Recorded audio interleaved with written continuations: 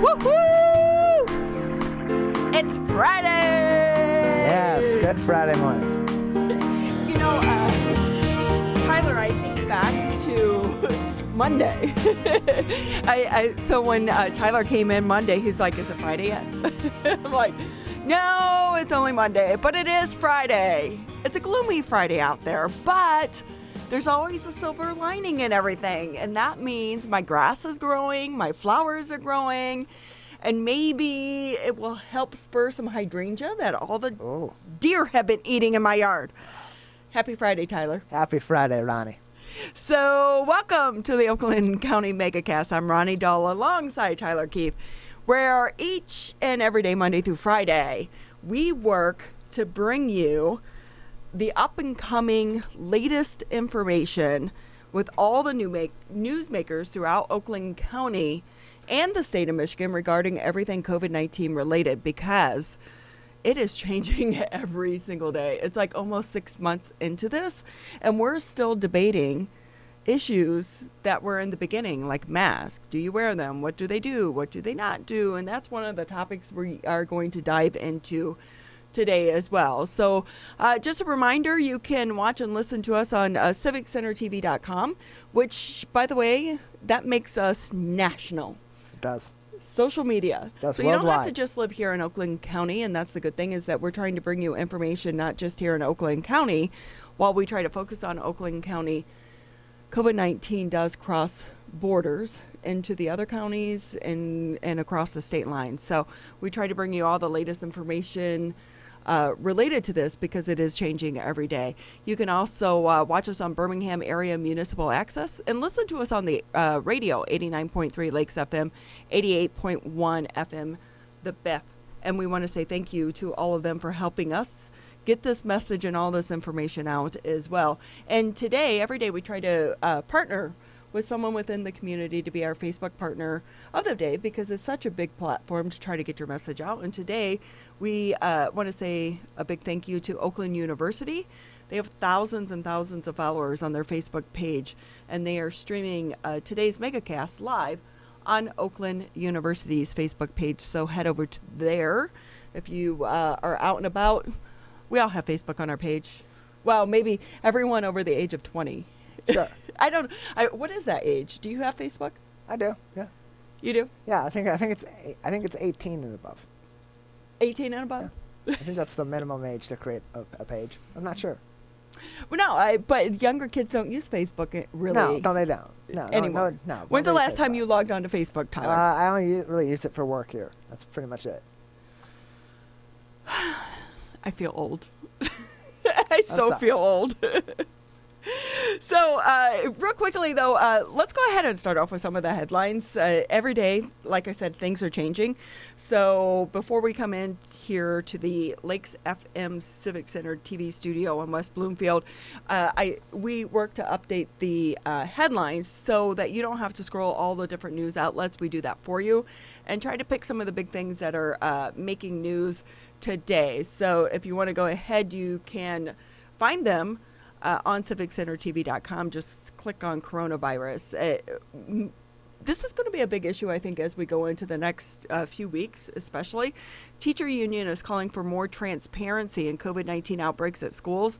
Michigan's largest teachers union is demanding more transparency from districts about COVID 19 cases amid confusion as well as frustration about state health laws that err on the side of privacy, even amid a pandemic. Now, last week, of course, Michigan acknowledged at, four, at least 14 COVID 19 outbreaks at state schools and universities. But the state and local health officials, along with the governor, have resisted calls to release details. The Michigan Education Association, which represents about 120,000 educators in Michigan, pushing for transparency, saying safety trumps privacy. Yeah, this actually became an issue even early on, and employers have been facing this as well. You have to understand the HIPAA laws and the privacy of the individual, but at the same time, if you're trying to do contact tracing, how do you do that and then abide by those HIPAA laws as well? Yeah, you have to find a way to be able to track where these cases are going without violating the personal privacy of people and their and their right to that privacy. So if there's a way that you can trace things back to certain people and warn them and, and pull them without specific without bringing too many specifics out there, sure that's a way to do it. But it's a complicated situation that's not ever going to be that easy. And it still needs to be worked out for these teachers, between these teachers and their union, to, and between the medical community as well. I, I think we're going to see this uh, continue to play out uh, as this pandemic goes on. Like I said, uh, you know, employers have been dealing with this as, as well, especially when you're in a huge office building. You don't really know who's coming in contact with one another and who isn't. So we'll see where this goes as well. Uh, the rally at the state capitol to push for the return of high school sports. Those calling for high school sports competitions to resume this fall in Michigan will gather at the state capitol today for a rally. Hashtag let them play. It's a high school athletic support organization that plans to address the importance of high school sports to the youth of our community. Michigan High School Athletic Association announced this month that the fall football season will move to spring due to the sport's higher risk for spreading COVID 19. The rally is going to be held at the Capitol tonight from 4 to 7 for anyone out there who wants to join in. I don't think they're going to get much movement on this, Tyler. No. Uh, for, for one, the state government does not have any, necess- any say in the MHSAA's decisions. Sure, certainly they have influence but they don't have any say in that. So going to the state capitol to protest against the postponement of some fall sports and potential postponement of further fall sports, you're, you're going to the wrong place. And on top of that, I, I expect everyone at that rally to be wearing masks, to be keeping six feet apart, to understand that they're not COVID positive, to have maybe been tested. Because if you think it's safe enough to go out to these events to have sports like football being played, you better be taking your own precautions yourself. Otherwise, don't be arguing that it's perfectly safe when you're if you're going to be blatantly not following those guidelines. So again, that uh, protest is happening in Lansing tonight at the Capitol building from 4 until 7 p.m. Also making news on CivicCenterTV.com, Oakland County is going to be providing free COVID-19 drive-through testing for students. They announced that it's going to expand the free drive-through testing to include kids ages 4 to 17. It's going to start on August 31st. Children must have symptoms to qualify. You also have to be a resident of Oakland County or attend a school in the county. Parents can begin scheduling testing appointments for their kids beginning Thursday through the Oakland County Health Division's Nurse on Call hotline, and we'll have that number for you on CivicCenterTV.com. No doctor's note or prescription is needed. And lastly, Michigan nears the coronavirus 100,000 mark. Nearly 100,000 cases of the new coronavirus have been reported in Michigan as of Thursday morning. That's according to the most recent data provided by state health officials. Michigan added 758 new coronavirus cases on Thursday, bringing the statewide virus total to 99,958. State also reported 16 more deaths being attributed to the coronavirus the death toll now in the state of Michigan 6,440. One thing we like to remind people when we talk about numbers, they're not just numbers on a piece of paper. These are people, they're uh, members of our community, they're our brothers and our sisters, and we have to remember that when we talk about these numbers. Yeah, these are not just milestones, these are, these are scary milestones, and we need to think about that we're only six months into this. We still don't have a vaccine. We're still several months away from a vaccine, and it's all the more incentive. That should be a reminder that we need to be following the guidelines that are in place. That we need to be taking the safety precautions that are being uh, that are being uh, said to us by the medical community. Because of those reasons, 100,000 people is not an insignificant number by any means. You know, the great thing about this, though, is the number of deaths is really declining from compared to where we were way back in like remember a- April. April was really really bad for the number of deaths in uh, yeah. this the state of Michigan. So if we have any hope in all of this, it's it's taking a look at that. Yeah, and, and part of that has been because we've our state has done its part. Our people, the people of Michigan, have done their part to keep themselves safe. And uh, once we got out in front of this on the medical community side, we were able to take action from the side of civilians like you and I, and I, and I think that's definitely showing in the spread of the virus and definitely in the way that the that uh, the death rate has been in the state of Michigan. So Tyler, as I said, it's Friday. Yes. We actually um, we've had a great week. Great week talking with a lot of uh, important people, a lot of information to share with people, and we're going to end the week uh, on another great note. Uh, a lot to get to today, but we want to go ahead and, if we can, start off with Curt Lawson. He's the Deputy Police Chief Public Information Officer for the West Bloomfield Township Police Department. Curt, it is always such a pleasure having you here on the Oakland County MegaCast. Happy Friday to you. Well, happy Friday to you, Ronnie, and hello, Tyler. And uh, oh. I think Tyler said it yesterday. Boy, 2020 has been a lot of fun, hasn't it? I just want to erase much. it from my memory, it's right? and thank goodness it's Friday because I'm, I'm ready for the weekend.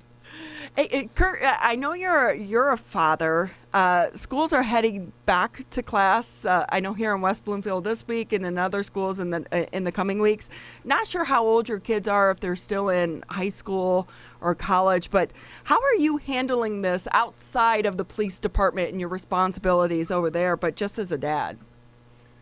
Well, uh, so I have two daughters, 17 and 15, and every day is an adventure. And I got to tell you, if you're a person that doesn't like change or you're an anxious person, person, this 2020 is not for you. Uh, fortunately, I, I kind of can handle both. And uh, as a parent, that's that's kind of what you need. You have to be very flexible because there's so many changes and so many uncertainties out there on a daily basis uh, with education and the fact that you have to wear masks and uh, uh, capacity limits at different stores and restaurants. There's just so much going on this year. Uh, but you know, my heart goes out to the parents, to the educators, to the administrators, because uh, it's been a heavy lift for, for everybody.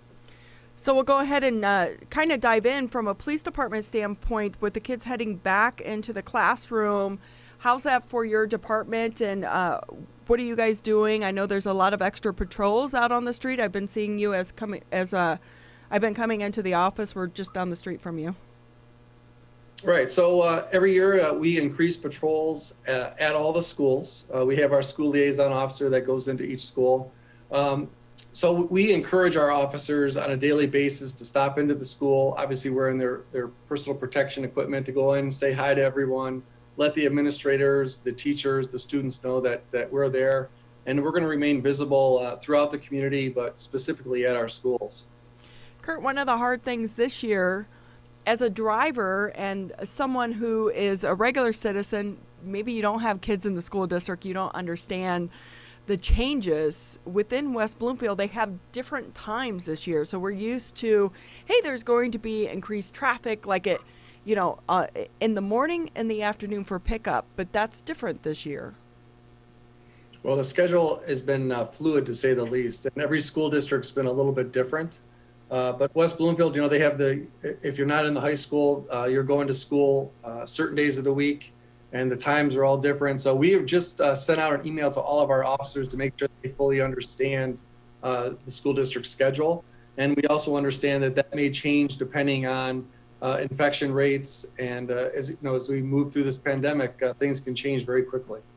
Curt, in terms of managing traffic, as we have multiple times that the kids are – uh, arriving to school and dismiss and being dismissed from school. We spoke to Chief John Fitzgerald in Keego Harbor yesterday about the work that his department's doing at Roosevelt Elementary and assisting at Abbott. Uh, at Abbott Middle School, what kind of similar work is being done in West Bloomfield at our elementary school, our K through 8 institutions in West Bloomfield, who are having in-person learning uh, four days a week?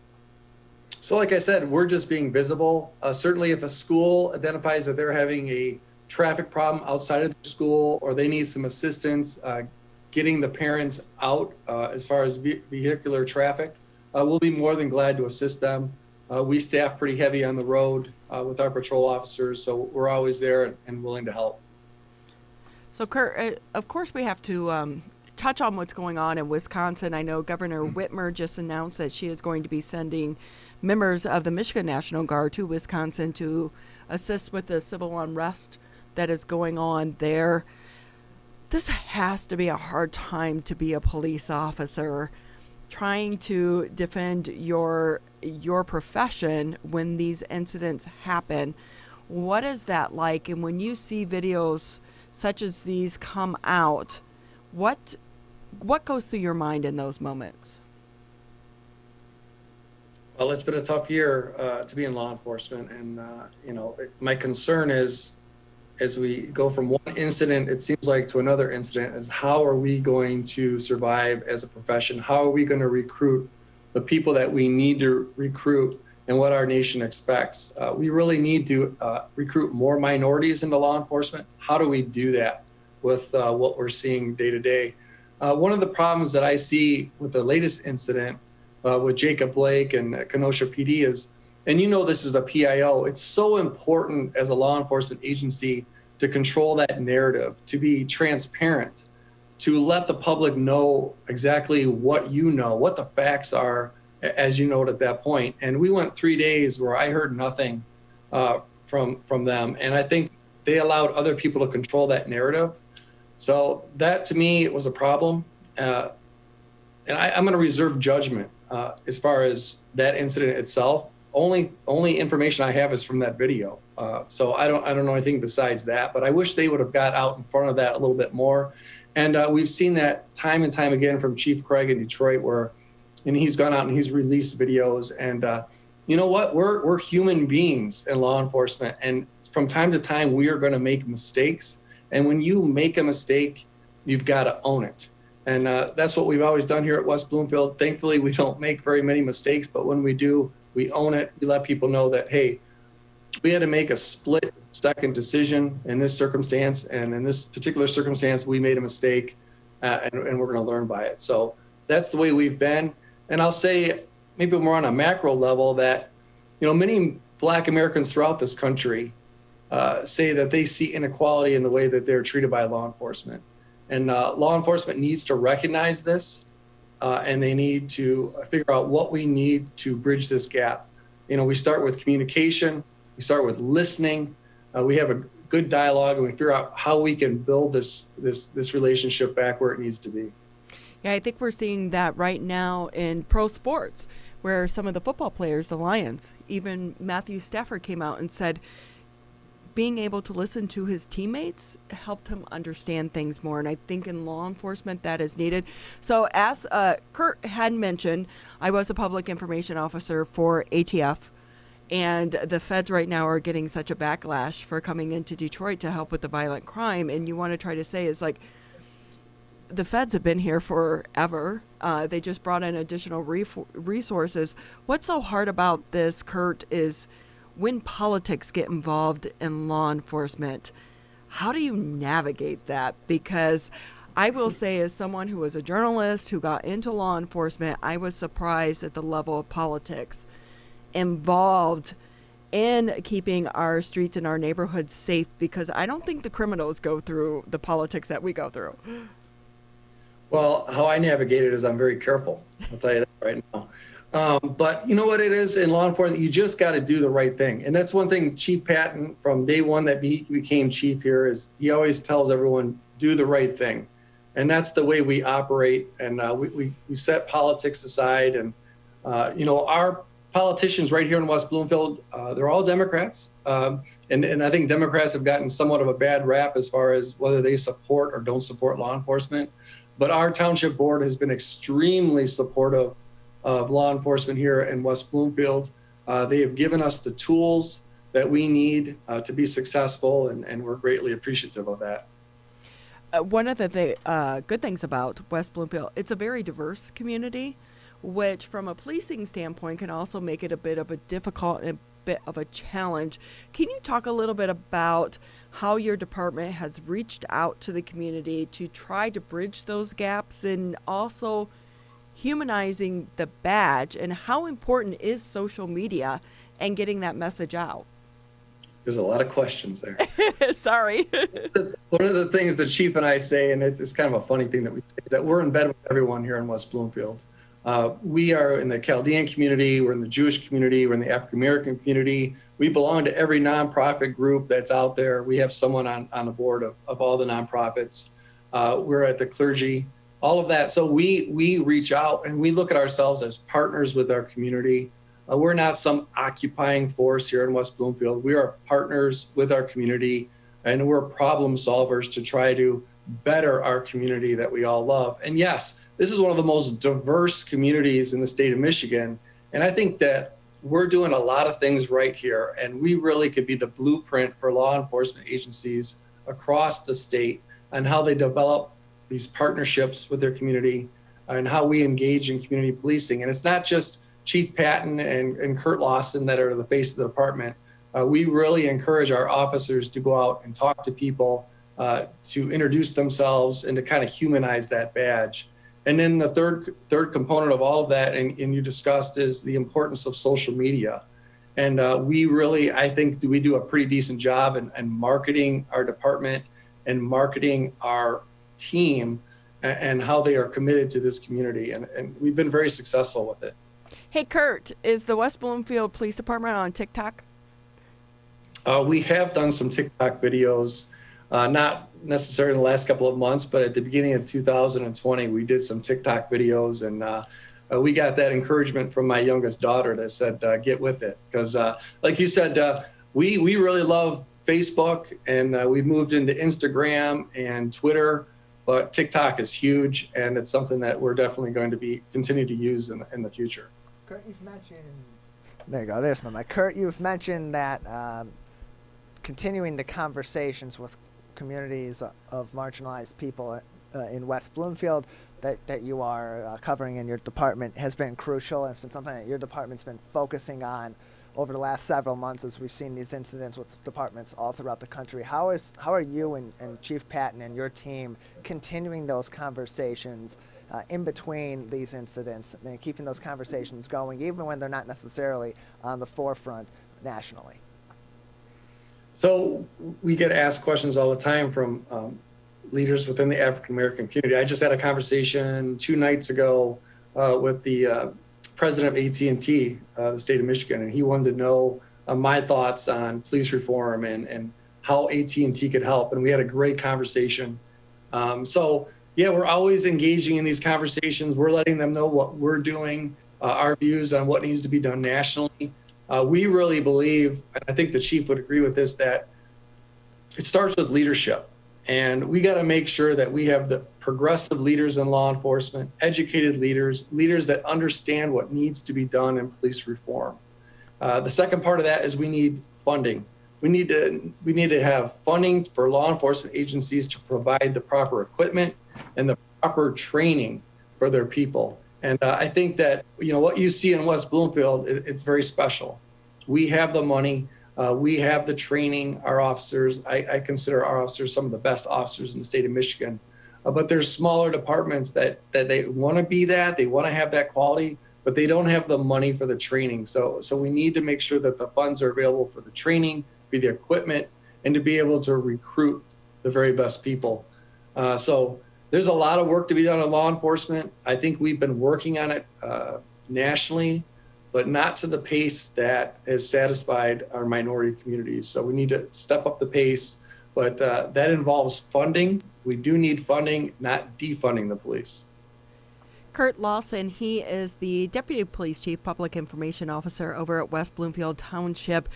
And as you said, it, you can't defund the police and not have the training that they need. I think a lot of this comes with training and it also comes with we need to diversify the ranks and that is bridging the gaps. But one thing that you mentioned was uh, kind of the difference in, in the minority groups. And I think one of the hard things with Jacob Blake and what happened in Wisconsin was seeing the difference of again, and I try to you reserve judgment on everything that happened because you know coming from law enforcement that what you're seeing in that 20 second video clip is not the entire story.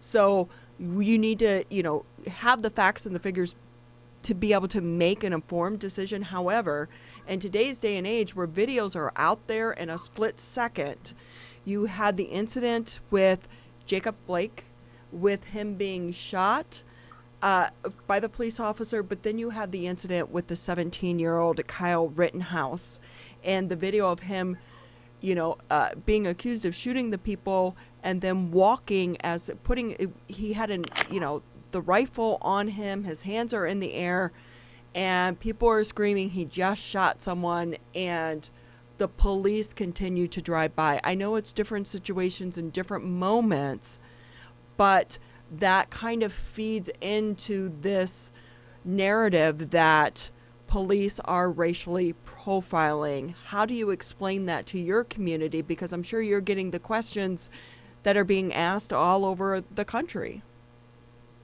Sure. I don't know enough about that incident that you just spoke about to really comment it, comment on it. So I'm, I'm not going to comment on it, but I will say that I'll tell you one of the things that we do when we first hire someone here at West Bloomfield.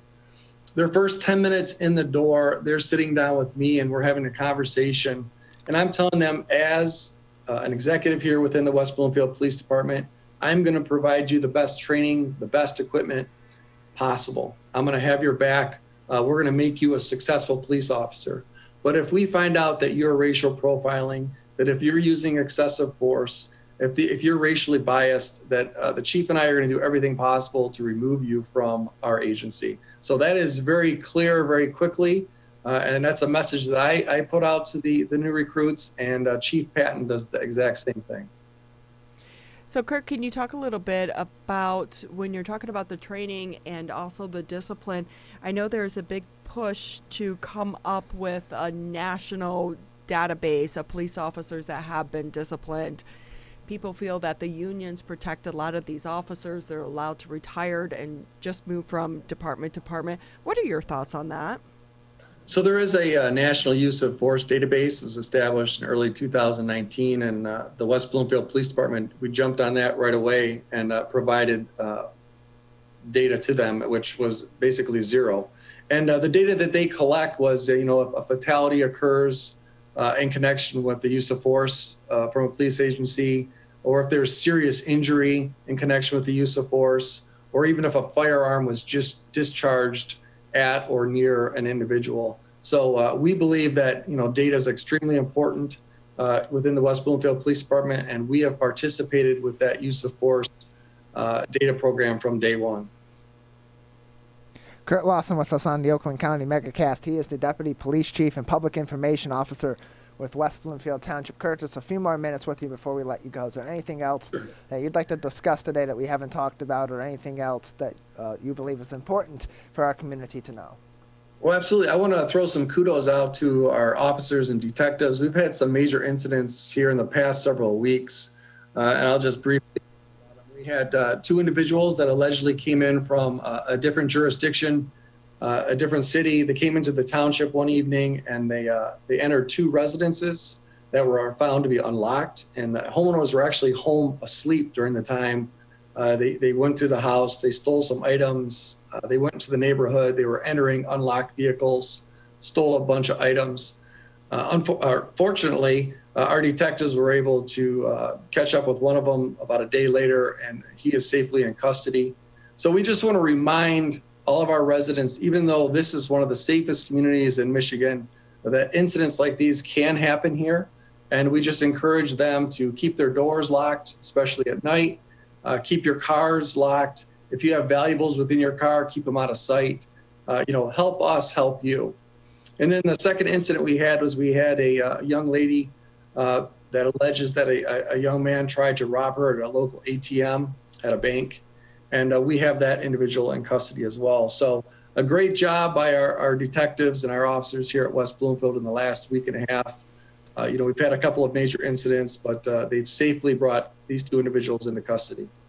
Crimes of opportunity. Lock your house, lock your cars. My husband is constantly on me to lock the house. I forget. Hey, uh, Curt, before I let you go, I'm on TikTok. What are you, what's your name on? What's the department? Well, I'm not name? personally on it. No, I can the, tell you my. what's the what you the West Bloomfield Police Department? I'm trying to find you guys. I think well, I want to see a TikTok video from you. All right, I will find out. I don't know off the top of my head because, like I said, we haven't been on there in a little while. But uh, I'll get that information to you, and you can let people know. Get grooving. We want to see uh, the West Bloomfield Police Department on TikTok. We're going to be on there, I promise. Curt Lawson, he is the Deputy Police Chief, Public Information Officer for the West Bloomfield Township Police Department. You know, Tyler, they do an amazing job over there. uh, at West Bloomfield. Uh, great, great effort by all of them and their team members to try to reach out to our community. Yeah, they do. They do a great job of keeping the, communica- the lines of communication open with the community. If there's an incident, whether it's in the township or outside of the township, they're always right there on the forefront to discuss those issues and be open about it. They're not afraid. They're not gonna. They're not afraid to be open about those issues. They're not uncomfortable to talk about the uncomfortable conversation, and that's exactly what you're hoping for from a police department, especially in these times, in terms of communicating with the local community. We definitely need that now more than ever. Transparency is going to be key to be able to continue to bridge the gap between our law enforcement departments and the community. Hey, uh, we're going to take a quick break here on the Oakland County Megacast, and when we come back, we are heading to Oakland University, which, by the way, they are a Facebook partner of the Dame. So you can also watch us live streaming on their page. We want to say thank you to them for doing so. And we're going to be talking about some of the students that are trying to navigate COVID 19. And it's a very stressful time for them financially as well, and talking about how people are helping them and how you can help some of these uh, colleges and the students uh, through a time of giving. I know it's hard for a lot of people, but it's needed right now. You're listening to and watching the Oakland County Megacast. Hi, my name is Curt Lawson, and I'm the Public Information Officer for West Bloomfield Township. We wanted to reach out to you, our older adults, to provide information that you may find useful during this difficult time. We want to ensure you that West Bloomfield Town Hall, our Waters and Utility Department, West Bloomfield Parks, and our police and fire departments continue to work hard on your behalf. Information and resources can be found on the Township website, the police Facebook and Twitter, or call West Bloomfield Park's COVID 19 Help Hotline.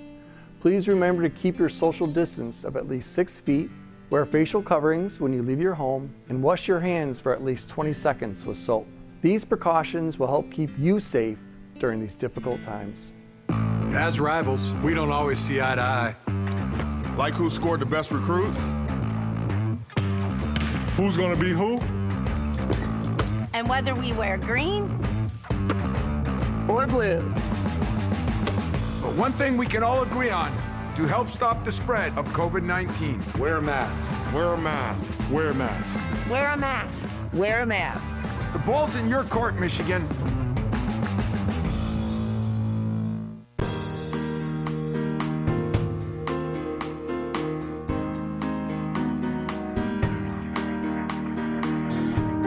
Welcome back to the Oakland County Megacast. I'm Ronnie Dahl alongside Tyler Keith.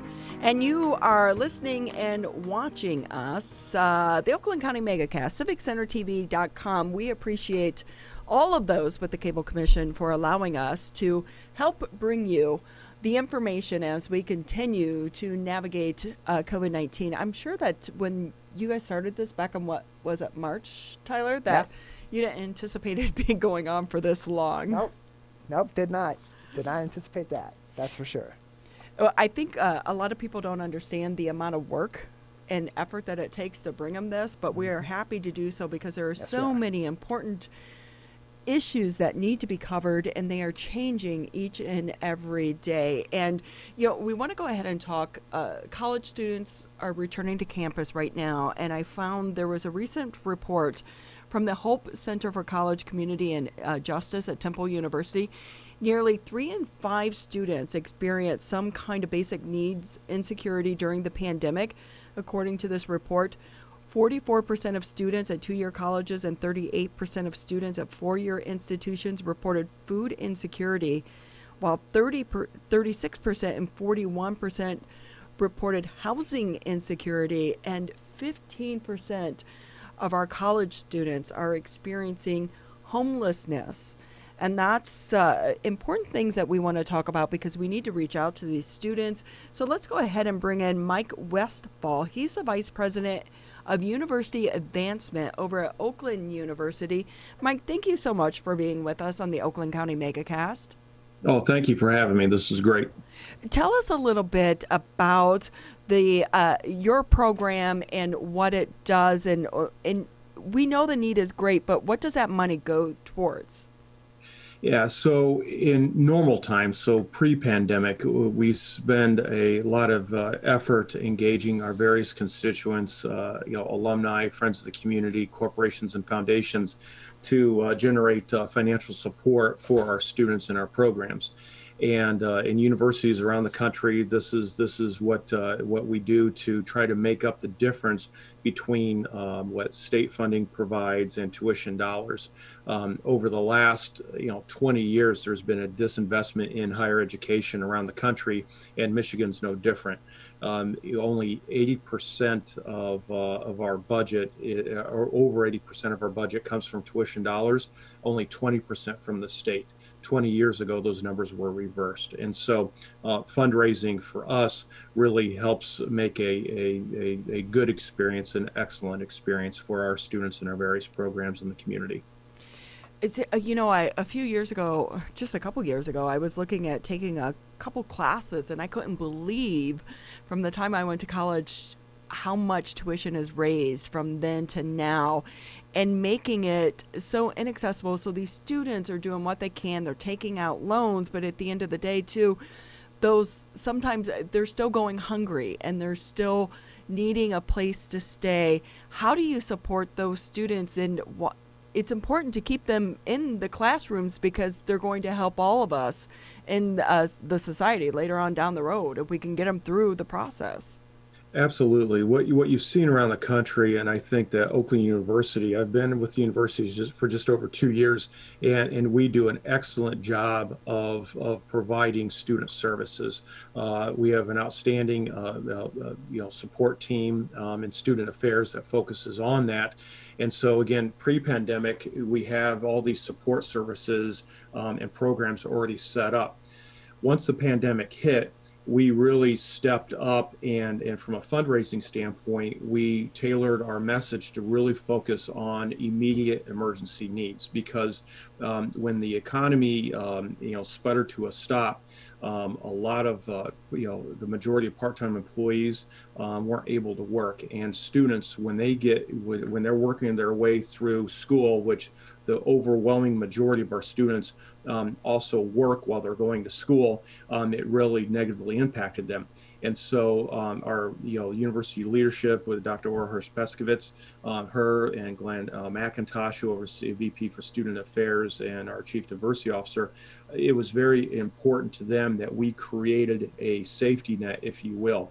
And so um, at the inception of the pandemic, uh, we started various uh, fundraising efforts and generated over $200,000 in support of our students that were in need with the majority of the funding going to our COVID 19 Student Relief Fund.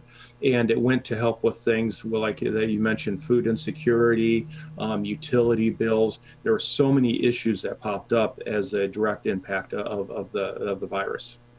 Mike Westfall with us, Vice President of University Advancement at Oakland University. Mike, uh, with all this money that has come in from the fundraising during the pandemic, how many students, or about how many students, has that helped to keep not only learning at Oakland University, but keep them living with the basic necessities during this tough time? It's helped, you know, hundreds of students. Um, well over 300 students have benefited from this, and then also um, the federal government. Uh, we uh, we participated in, in the CARES Act, um, um and and half those half those monies went to help uh, with uh, towards $500 um, you know awards uh, to to uh, to our, our to, to the majority of our students. Mike, I know a lot of uh, organizations and, and, nonprofits, they're having such a hard time with fundraising right now because businesses are cutting back, uh, people, individuals are cutting back on what they're donating. Are you at Oakland University feeling that impact as well? We, we we are, but in, in different sectors. And so, as a good example is that we've we've seen you know uh, a dramatic increase in support from uh, the regional foundations. Uh, you know, we're fortunate in Michigan, and particularly in, within Oakland County and in our proximity to Detroit, that there are a multitude of foundations that have really stepped up. And so, we're grateful for for their their their, their leadership and their ability to support. Um, corporations, um, you know, they've they've uh, pulled back a little bit understandably so, because they're going through their own financial challenges. And I have to admit, I've been, um, you know, pleasantly surprised at the generosity um, of, of our alumni and our friends. Um, a great example of that um, is, you know, we've had over, um, got the, you know, over 600 donors um, just to our COVID relief funds uh, totaling over $200,000. And then when you look at our faculty and staff, our faculty and staff really embrace the student population and the core mission of the university. Um, I have I've been at a number of universities and consulted at a number of universities. I've never seen as much engagement from faculty and staff as I have here. Uh, you know, every year our faculty and staff contribute over half a million dollars um, to various scholarships and programs throughout the university, and we have you know record participation. Uh, last year alone, we had um, over over 1,600 donors, um, you know, to the All University Fund Drive, and so we're fortunate, we're blessed that we're in a very um, uh, caring place as Oakland University, but I also believe that the region has done a lot in terms of stepping up and, and helping those in need. Um, you know, and one of the things that that uh, we pride ourselves on that I'm very proud of of Oakland University is that during this time, it really wasn't just about helping our students. It was also about helping the community as well. And so we were able to do two major initiatives and of, of many, but our two major initiatives were that uh, we turned our Oakland Center, which is basically the student union, um, and it was a beautiful building, but we turned that into a food pantry for the community and partnering with uh, local um, organizations, we were able to actively, um, you know, hand out uh, food during the worst uh, period of the pandemic. Also, we ended up, um, you know, through um, Dr. Uh, Pescovitz, um, we were able to offer up um, some of our residence halls for the region's uh, healthcare professionals. And so we were able to secure funding again from the community and area foundations to support the housing of folks during the uh, during the worst of the pandemic, because we were able to house uh, um, healthcare workers that uh, did not want to necessarily go home um, in the evening and potentially um, uh, you know pass on the virus to their family if they had it, and also uh, some healthcare workers were brought in to help with the, with the early surge.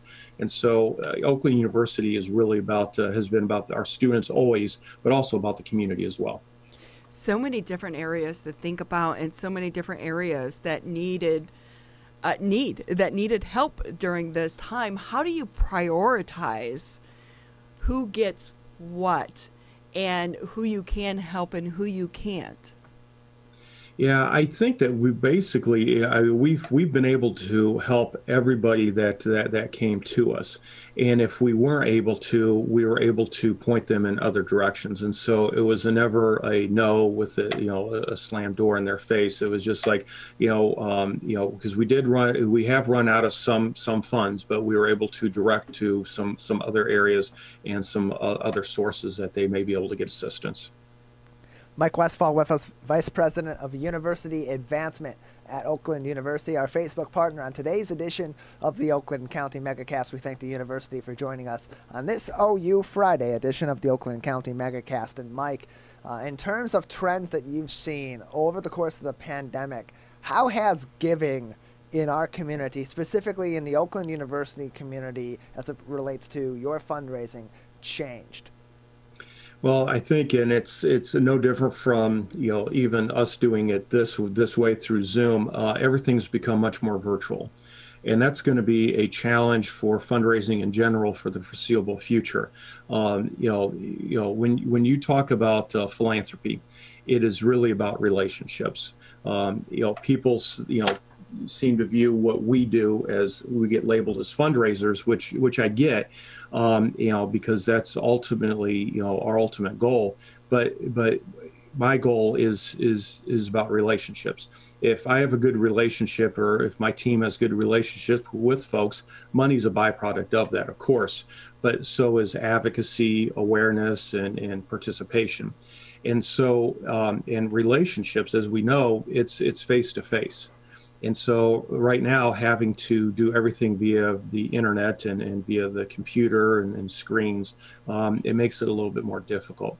But what we've been doing is that uh, we've been reaching out more um, you know my team rather than just relying on the face to face you know the, one of the first things that uh, my team did uh, because we have so many just wonderful people that, that support this great institution is that uh, you know we called everybody um, and just said, "Hey, how you're doing?" and and just tried to you know check in. Do they need anything?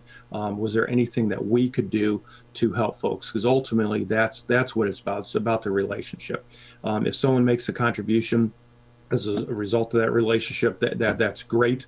Um, but really um, you know just like we care so greatly about our students we care a great deal about uh, the folks that support this university our alumni our friends in, in the community. So it's just switching to the virtual environment um, and understanding and appreciating that folks are going through some financial hardships right now.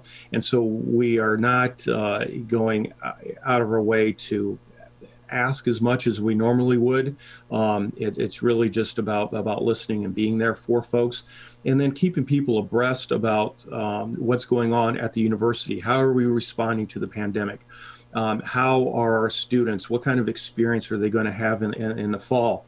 And then and then those conversations many times lead to what can I do to help? and and once you know once we get that question then we can point them to um, a number of our, our covid impact funds so, for example, in the beginning, we really focus on the immediate impacts, but right now we're starting to transition more towards focusing on scholarship support for the fall and then even into next spring because you know you uh, know enrollment for folks is you know is going to be a challenge because of financial pressures and so we're really switching our focus to you know from helping with the light bill or rent or food insecurities um, to to really focusing on the long term of of keeping folks engaged in their college you know in their university and educational journey. And and that that's going to be a major priority going forward. And and we're starting to see some folks really step up and help with that scholarship support so folks don't have to take a break. Because as we all know we all have friends that decided that they were going to sit out for a semester or sit out for a year and that semester or that year turns into five years ten years and they never complete their degree and we are about degree you know completion here at oakland yeah, we see that all too often. Mike Westfall, Vice President of University Advancement at Oakland University. And you know, Mike, you you talked a little bit about relationships and the importance of relationships. So for the students who are out there struggling or you have a business that wants to help or an individual that wants to help and maybe they have expertise in their field, if they can't give money, is there a way to mentor students as well to try to support them in that arena? Yeah, there is. Um, you know, you, one of the things that we've seen a lot from various, you know, from folks is that you know they, they might, might not be able to have assets, but they, they can you know contact us if, if they have you know pos- potential positions through our you know career you know, through career services, um, internships, uh, part-time work. Um, so again, a, a, part of that uh, an umbrella of support uh, that we have within student affairs. Um, you know, we do a great job of placing people in jobs. And so if there are potential employers in there that would like a good, you know, college student either part-time or internship, that's always welcome. Um, we've had some folks step up. Uh, right now, we're in conversations with a uh, with a, uh, a major uh, company, automobile automobile company, that wants to give us PPE um, and uh, you know personal protection equipment, and and so we we take a lot in terms of gift gift in kind. Um, we've had you know folks donate masks um, and, and different materials, and so there's always you know an avenue that if someone wants to get involved, we can try to find that find that fit and and I will do. I'd like to do just a little bit of an infomercial because I, have experienced this firsthand, and and it goes back to the internship piece. I was amazed in my first year here, um, seeing the the support that we get from the corporate community in terms of, of, of how many internships are available to our students. Over 90% of our students are from Michigan, and over 90% of our students stay in Michigan. So, an investment in Oakland University and in our students is really an investment in the local economy. Well, when we moved here from the state of Washington, my son transferred from the University of Washington, and uh, he secured an internship uh, with BorgWarner. And uh, in then two months prior to graduation, which was just this this summer, um, he was offered a full time job, and he would not have gotten that without that internship and without the great relationships that uh, our career services team has with the corporate community. So, um, again, you know, there are challenges out there for our students. And the key thing to remember is that we may not have all the answers, but we care and we will help find the answers and do everything that we can to support our students. Um, so, uh, you know, there's a multitude of things that, that, that, we can do and that we're willing to do. Mike Westfall with us uh, from Oakland University. And again, we thank you for being our Facebook partner of the day. You talked a little bit about relationships and, and the internships. And I know coming from broadcast, your internships are pretty much everything. One of the uh, things that can make a, an internship hard, though, is when they're non paid internships. How do you suggest students balance the two arenas and still make it through their courses? Because time management is a big thing when you are a college student. Yeah, well, I think you know everything's a test, and and I you know I view everything as as a challenge. Um, you know, when I look at uh, in my personal case, you know, the, you know, it was a paid internship for, for my son, and and and, mo- and the majority of them, from what I've seen and heard, um, are are paid. But for those that are unpaid, um, you know, I think that uh, it, it's very difficult to to to balance. But I also find that uh, that you know students figure it out, and and one of the things that we're teaching through the education process and oakland's you know no different in this way is that you're teaching resilience because if you're able to figure it out and grind and, and, take advantage of the support services that, that we have on campus and so let's say that you are having um, you know challenges balancing. We have we have extensive counseling services on, on campus. Um, our advisors can help you know manage uh, you know you know um, and, and, and work with students about you know different techniques that they can use to prioritize or, or, manage you know what, what they have on their plate um, the, the key thing is is not necessarily just having solutions, but having that support network, which we which we have in, in spades here at Oakland. So, uh, uh, just out of curiosity, when it comes to your fundraising, how much comes from like individuals and small small businesses versus larger corporations? Yeah, the majority of our fundraising uh, is, is is from individuals um, and, uh, and and alumni. Um, you know, interestingly enough, uh, we have a relatively young alumni base, uh, given that we were founded in 1957, um, and so we uh, we have over well over 100,000 alumni, but uh, but the average age is is a lot less than than than most of our peers.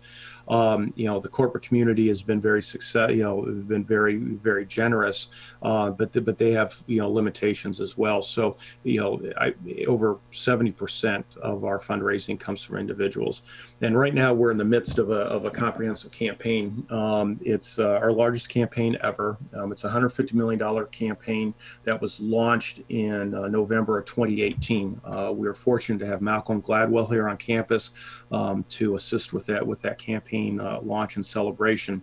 Uh, but uh, right now we're about $77 million towards that goal. And so we're right on track. Um, and our, our, fundraising is, uh, you know, remarkably, you know, we're seeing record results over, over these last uh, several years. Uh, this year, you know, I'm a little bit concerned it's going to be a little bit more difficult, but I'm confident and, and I'm, you know, optimistic that, that folks will continue to, to, to step up you know, Mike, I think a lot of people, when they think about giving money, especially to a university, they feel like it has to be a lot of money. I would imagine, even in these days, if it's $5, $10, $15, give up your Starbucks and help a student. Yeah, um, you know, you know what's funny is that a lot of organizations focus on you know how much, um, which can be important, you know, in, in, some cases. But you know, we focus on on how many. Um, every relationship's different. Um, every everybody has different capacity uh, levels um, or, or different desired goals that they're trying to achieve, and our role really is just to be a conduit to help them achieve their philanthropic goals. Um, you know, no dollar is, is too small, and conversely, no dollar is too big. Um, but uh, but you know, it, it, really is up to that individual, and so we're here to help them and and uh, and, and help them fulfill uh, what their ultimate goals are. And so um, annual gifts um, are, are very important. Um, and and we get a lot of gifts, you know, for scholarship support. Um, the larger gifts uh, tend to be towards um, specific initiatives, but everything is over 99% of our gifts are restricted to an intended purpose. Um, we do not get a lot of discretionary uh, giving um, because folks want to know exactly where their money is going. Um, they want to make sure that's having the desired impact that they want, and it's and it's our role to facilitate that and make sure that the that uh, that their investment is going exactly where they want it to go, and that it's being utilized in the way that they want it utilized. I know, as you stated, uh, or as is stated on the website, an education for students today means a stronger tomorrow for the entire community. If someone wants to donate, how can they do that? Well, you know, we we have a you know obviously go to the website uh, you know first off, but uh, you know we have a ton of information there. There there ability there's the ability to make an online gift to a multitude of des- designations, um, but but I always prefer the the face to face as much as possible, or at least voice to voice. And so, if, if people are interested in, in giving at all, helping with any of our COVID uh, impact efforts, uh, particularly that of scholarships, because again, I think that's going to be absolutely critical, not only for our university but for all universities. And so, if anybody's listening to this, um, they may not have any affinity or connection to Oakland University. They may have their own home university. That's fine. Give give there. Um, you know, uh, you know, we're happy to um, to to accept you know any philanthropic support for our students, but but you know, philanthropy is about how people feel and and where their feelings lie or with with the institution or also just supporting the community that that, they, they live within. Um, the majority of our individual donors uh, are uh, you know surprisingly in some cases are non-alumni that's that makes up the majority of our donor base um, because I think that folks recognize the, the impact that Oakland University has, um, you know, in Oakland County, but also within Southwest uh, Michigan and in, in the region. And so, um, so you know, whether folks give to Oakland University, that's great, but but just give and and, and support those students. But if people are interested in supporting Oakland, they're more than happy to reach out to me, and uh, I will connect them, you know, with a member of my team or facilitate it myself. It, it just we're just grateful for the support and the consideration. And we're grateful for your time this morning. Thank you so much for being with us in the Oakland County MegaCast. Stay safe, stay healthy, and uh, go Grizzlies. Well, thank you so much. This is a great service you folks provide to the community, and it's very much appreciated we appreciate that. You have a happy weekend. Uh, so, you know, Tyler, there are a lot of different ways that a person can give. In fact, uh, sometimes too a, a, reminder to students to reach out let people know that you need help we had someone on our neighborhood uh, facebook page or i think it was sylvan lakes page or, or Keego Harbor she's a nursing student at oakland university and she was asking people for their can and bottle donations so that she could buy her her textbooks so there are a lot of ways that you can get help. And I can tell you, she's been busy picking up cans from throughout the neighborhood. Normally, we throw ours in the recycling bin, but when I saw that, we started collecting. And, uh, you know, if she's willing to come get them, put them in there. But there are different ways to support. So even if you are struggling right now, you don't feel like you have money, reach out to these students and support them. Yeah, yeah, our, our, college students are always in a position where they're struggling uh, in our in our country at this point in, in our history with the tuition prices, with student loan situations being what they are, and it's even more so now in the pandemic where jobs are more are tougher to come by. Some of them have lost their jobs and are not able to pull unemployment. Some do not have jobs and aren't able to find them. So it's an even tougher con- tougher situation for these students now more than ever. So your support of the students more so than the university or even or even the university and the students, is all more supported in these times than ever. Yeah, you know, hey, I have uh, two nieces that are nurses, and the, yeah. you know, this student one day she may save my life. So that's why we give to other people because you never know. It, they support the community where we all live, and we are better when we work together. So, Oakland University, thank you so much uh, again for being our Facebook partner of the day as well. Head over to Oakland University's website. There's a lot of information there. If you do want to give, please know though that you don't have to be a multimillionaire to give. They're looking for donations to support their students in any way that they can. I'm Ronnie Dahl alongside Tyler Keefe. We're going to take a quick break, and when we come back, the all important discussion six months into this that we're all talking about still mask. Should you wear them? How should you wear them? Do they work? We are going to clear up the confusion here on the Oakland County Megacast. Hi, I'm Dr. Faust, the medical director for the Oakland County Health Division. The most important thing you can do to prevent the spread of illness is to wash your hands thoroughly and often. Follow these six easy steps every time you wash your hands. Step one, turn on the sink and wet your hands with warm water. Step two, Apply soap to your hands and lather between your fingers, under your nails, and the front and back of your hands and wrists. Step 3. Wash your hands by scrubbing them together for at least 20 seconds. Step 4. Rinse your hands with warm, clean water. And step 5. Dry your hands with a clean cloth towel, a paper towel, or hot air blow dryer. If you're using a cloth towel, make sure to change it often. For handheld faucets, turn off the water using a paper towel instead of your bare hand. Step 6. If you're using a paper towel, throw it away. Practice healthy habits like washing your hands after coughing or sneezing into them to keep you and others healthy. Go to oakgov.com slash health or call Nurse on Call at 1-800-848-5533 to learn more. Michigan, the coronavirus pandemic has put us all to the test. And now, it's time to put COVID-19 to the test. As we move forward, testing will be critical. We encourage anyone who has reason to get tested to do so, those with symptoms and those without. If you are leaving home and going back to work, get tested. If you think you may have COVID 19 or you've been exposed recently through family, friends, or coworkers, get tested. Our test locator tool can help you find the right testing site that fits your needs. Even if you're looking for easy access with no cost, no prescription, and no appointment necessary, we've got you covered. Help Michigan move forward, not backward. To find a testing site or learn more, visit michigan.gov slash coronavirus test.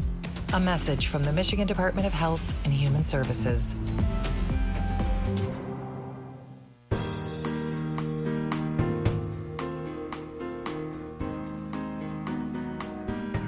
To push the right buttons there. Uh, Tyler, how are you?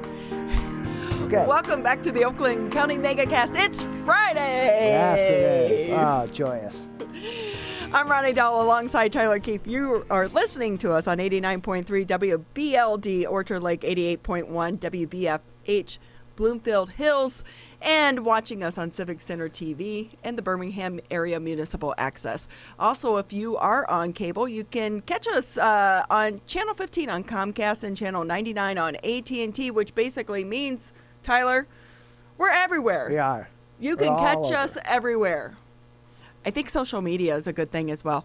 Uh, so as a, as a lot of people know, I'm still trying to learn the board. So Tyler is always reaching over trying to correct all my mistakes. So thank you for everyone that is tuning in with us, and thank you to Tyler as oh, always oh, for uh, helping me out here. Hey, uh, so this has been a really big issue. If, from the beginning, of, from the start of this pandemic. So we want to talk about masks because remember back in the beginning they were saying you don't need a mask, and I think the concern was there the issue of people running or our healthcare workers running out of the all important N95 mask. And then the CDC came out and said, no, we need to wear a mask. And now it is a mandate here in the state of Michigan. But there are so many questions and concerns and, and discussions around the mask. So, to help us clarify everything on this all important topic, We are joined now by Dr. Jennifer Burgess. She is with the family medicine physician with Henry Ford Health System. Thank you so much for being with us on the Oakland County Megacast and taking time out of your Friday to be with us. Thank you for having me. Why is this so confusing for people?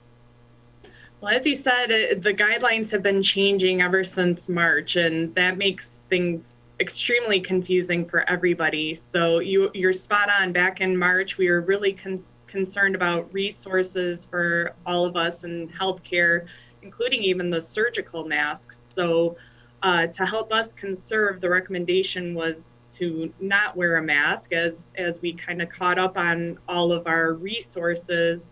Uh, evidence and, and guidelines and science showed that wearing a mask is helpful and even a cloth mask is better than nothing. So what we're seeing right now is science and, and evidence in real time and every day things are changing, which is extremely confusing for even us in healthcare. So where we stand today, do you recommend wearing a mask, but not only wearing a mask, what type of mask should people be wearing? So the current recommendation is for anybody two eh, two years old or above to wear a mask if that is possible. Um, a, a cloth mask is going to be helpful in preventing transmission. It's not perfect, uh, but it will help keep particles from uh, uh, affecting other people a surgical mask is also going to be very helpful. N95s are still slightly short-handed, so if possible to conserve those, it would be better to save those for the healthcare professionals. But if you have one, that that will also be useful. The uh, valve masks, unfortunately, are not beneficial as there's a release uh, on the mask that will allow particles to go through, and therefore it defeats the purpose of protecting other people. Well, you know, I just saw an article too. I think it was some of the casinos, uh, the tribal casinos were saying that you if you you need a mask, but they were no longer allowing you to come in with a valve mask or the neck gaiters or bandanas. And I will say, I I'm a big neck gaiter person just because of the convenience of them. So, do you recommend them or do you not recommend them? I haven't seen anything that says not to use them, so I, I, would say doing something like that is better than wearing nothing. But the valve masks, as I mentioned before, the reason for that is it doesn't protect other people. It protects yourself, but your particles can still be released.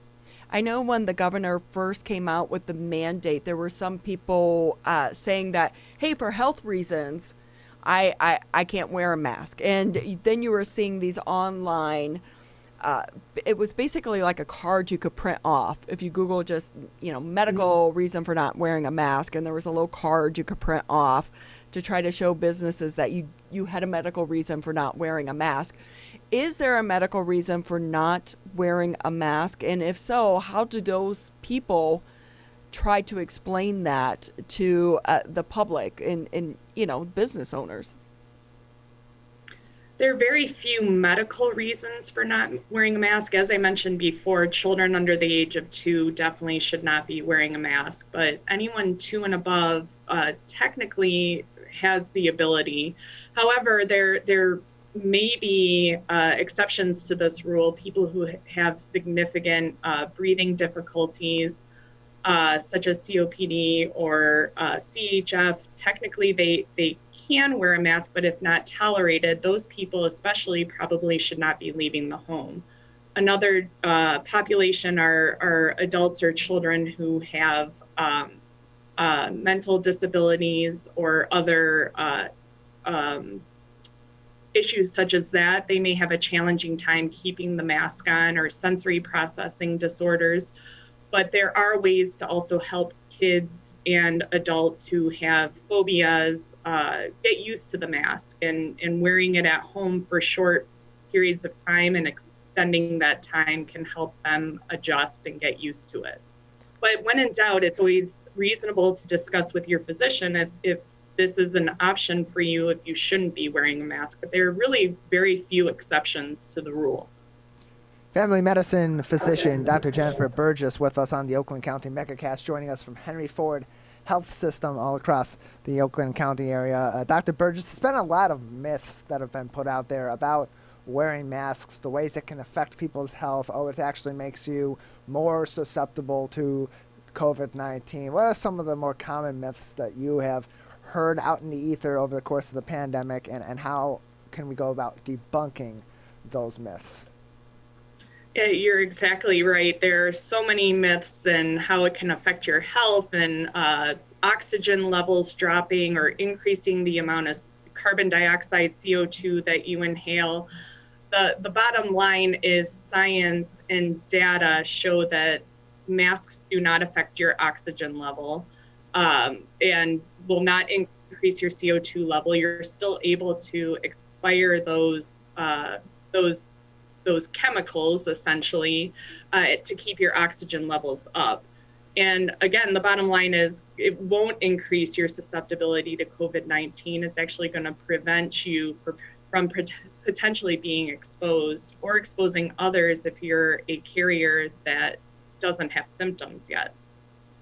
One of the things I see so much people who have their mask on, they pull it down, it's under their nose, and even when you talk, a lot of times it will come down, but they wear it on their chin, they put it back up. How many people do you think are walking around and con- wearing a contaminated mask? And what advice do you have for us to make sure our mask is safe? And I think that's the challenging thing. If you are touching surfaces and then touching your mask, you're potentially exposing yourself. So uh, a big thing is once it's on to keep it on and prior to taking it off, make sure that you're washing your hands. And if this isn't possible, have an extra mask on hand that you can put on if you accidentally touch it or move it down. But you're right. If, if it's below your nose, you're still unfortunately going to expose others or expose yourself cloth masks should be washed at the end of the day. Just toss it in the washing machine. But the big thing, especially right now in general, wash your hands. So we're we're talking with Dr. Jennifer Burgess. She's a family medicine physician at Henry Ford Health Systems. I live on the West Bloomfield Trail and I see a lot of people that are wearing them as they're running. Should you wear a, ma- a mask when you're exercising outside and if not, is it okay not to as well? So, if you're exercising outside, that's a better option of social distancing in general. Plus, you have the airflow going through. So, it, it's definitely reasonable to run and exercise without a mask, but I would recommend having one on hand in case you are close to someone and unable to keep that six foot distance. But in general, it, it's pretty hard to exercise with a mask on, and, and it's not recommended if at all possible. Right now, we don't have the gyms open, so that's that's kind of a non-issue. But if you're outside, uh, really, it's reasonable to exercise without a mask. But if you're going to be passing someone just out of courtesy, I would put one on. Dr. Jennifer Burgess with us, a family medicine physician from Henry Ford Health System, with us on the Oakland County MegaCast. Dr. Burgess, a lot of people have issues with their masks not fitting correctly. They, they get a certain mask that's just on hand, a blanket kind of general mask at work or at other places that maybe are a little bit loose or are too tight and they're not going to stay on when you're talking. What should people be doing to be able to adjust their masks if they are too tight or, or to find a mask that is the right fit for them? That has been the tricky thing even buying masks for my own children is is you buy them and then you can't return them. So uh, i would definitely recommend if you're going to be purchasing a mask buy one and try it out first. There are lots of options as far as helping with uh, ear uh, pain and discomfort even if if you go to amazon or on etsy that that uh, you can wear something to kind of pull the the mask off from behind your ears uh, but once you find a mask that works well, I, I, would buy a bunch of those so that they're on hand and, and can fit well. If they if they tie, you can just adjust that way. But the ear loops can be a little bit trickier. But there are things that you can find to help modify that. I know. I uh, so I think it's this is more of a, a chick thing, but I like to buy them so that they match. Like I found this cute little one. It has flowers on it at the uh, gas station, but it's like you said, you don't know if they're going to work or they don't. But one of the things I hate is because you mess them up, women, because of our makeup and our lipstick. Someone out there needs to design a mask that doesn't take off our makeup and doesn't take off our lipstick. Um, but you know, one of the other big issues is when you're wearing them and you're trying to read, it your glasses fog up. Is there anything you can do to help prevent that?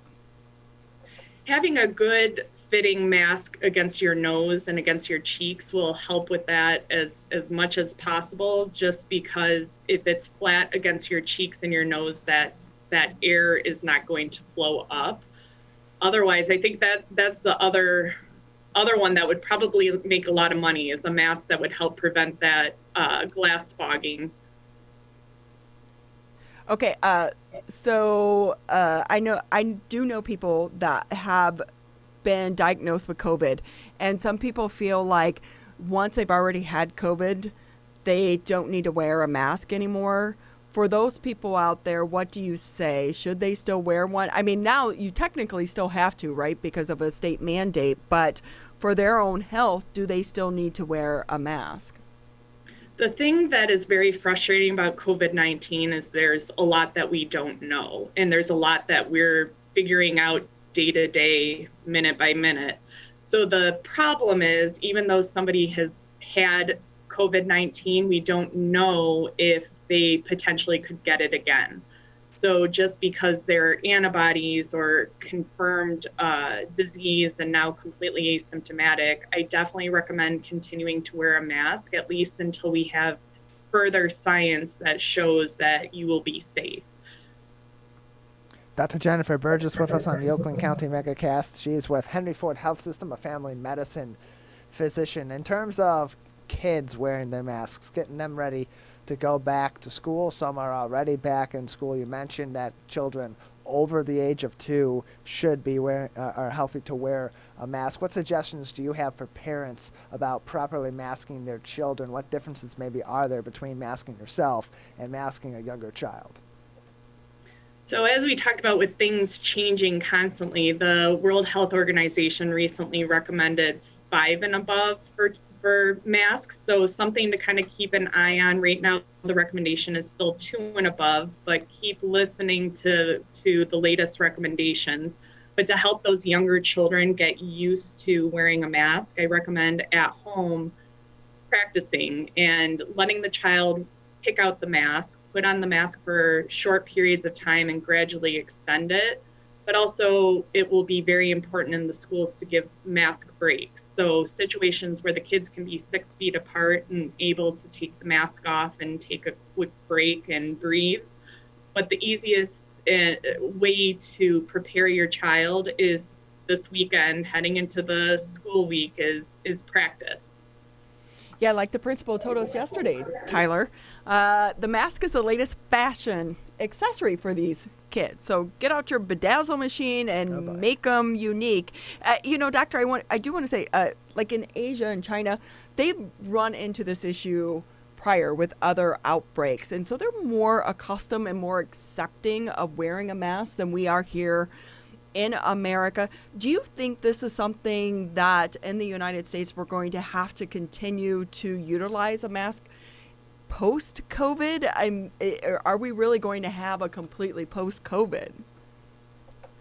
That that's something that we definitely don't know yet, but as as we're getting more vaccines that are in clinical trials right now, there's potentially hope once we we're able to vaccinate our population that we won't necessarily need to to utilize the masks. But uh, we're still, you know, at least six to 12 months out from those trials being completed. So hopefully, once we have that and there's more widespread use of, of the vaccine, we can talk about back in the day when we had to wear the masks.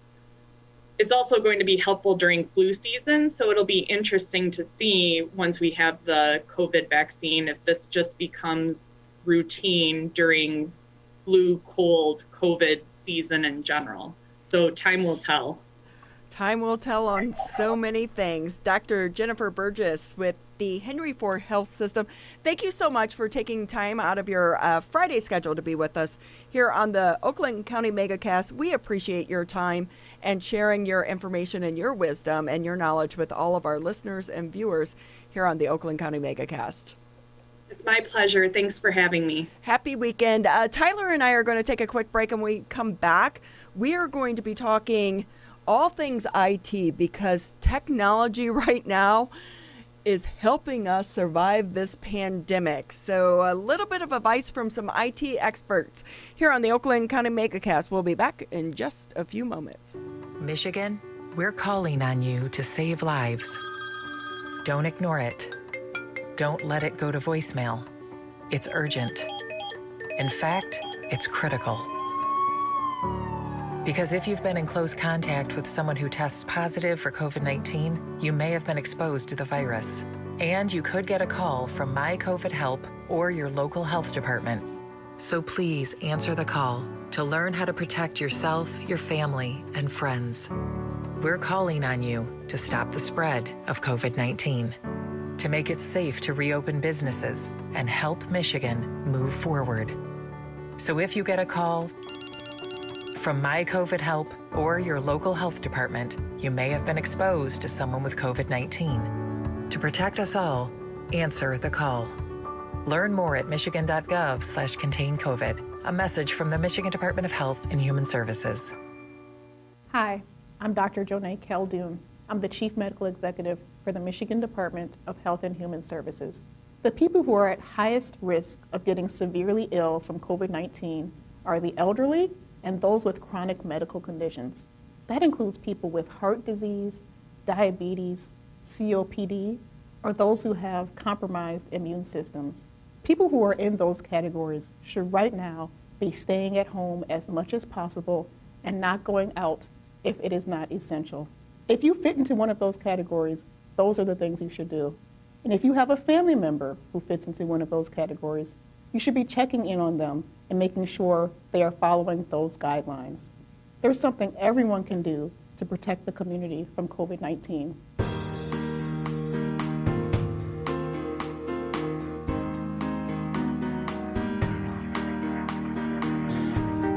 Welcome back to the Oakland County Megacast. You know, Tyler, I think one thing that we have all come to appreciate during the COVID 19 crisis technology. Oh, yeah where would we be without technology? And I have to say, uh, a couple weeks ago, as m- uh, most of you know, my husband uh, works for Fox 2, and the internet went out at home, and he had to do his sportscast from the house. A little oh. hard when your technology goes out. And I think so many of us are experiencing IT difficulties during this time. So that's why we want to go ahead and we are reaching out and talking to Brandon Hartke. He's the president of XFER Communications, along with Carly Czech. She's the, his uh, account manager.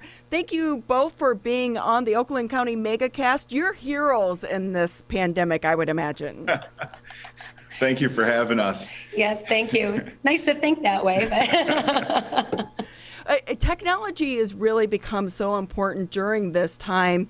Let's just start off with a little bit of advice that you can give to regular people. I know that you mainly service businesses, but even moms and dads, if we're at our houses, but we're also seeing businesses. We had the lady from the dance company in Keego Harbor.